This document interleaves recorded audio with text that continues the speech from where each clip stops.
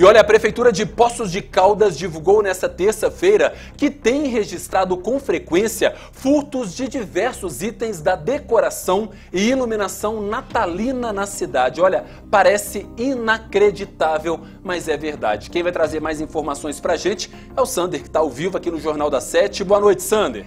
Boa noite, Rafael Silva. Boa noite também a todos. Olha, segundo a Prefeitura, os surtos são de cabos e fios até as próprias lâmpadas que têm sido também furtadas. Entre os principais registros, foram furtados vários cabos de árvores de diversas ruas do centro da cidade de Poços. No Parque José Afonso Junqueira, cabos da árvore de palavras na Praça Pedro Sanches, foram também várias lâmpadas e também fios foram levados. No Museu Histórico e Geográfico de Poços também houve o registro de danos e furto.